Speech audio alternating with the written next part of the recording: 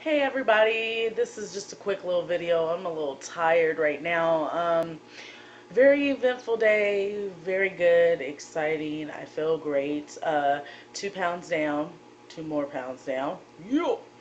And I just went around town today. I was just, you know, out and about.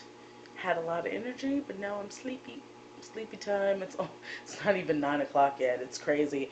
But um, anyways, one of my YouTube friends asked me, how does it taste the lemonade uh, juice that I have to drink? And pretty much, really, it tastes like fresh squeezed like lemonade, um, only with a kick of that cayenne pepper. It just makes it a little spicy and you know it takes a little getting used to especially if you don't like spicy things I know for a while in my throat it was just a tad bit too much, but you know, you can put a little less or a little more water or however you would like to do it.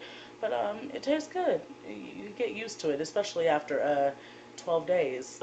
so I'm going on my 13th day, you guys. Tomorrow will be my 13th day, and I just cannot believe it. But I am excited, I am happy, and thank you for all the positive support and everything, you guys. Um, all right, I hope you have a good night. Bye.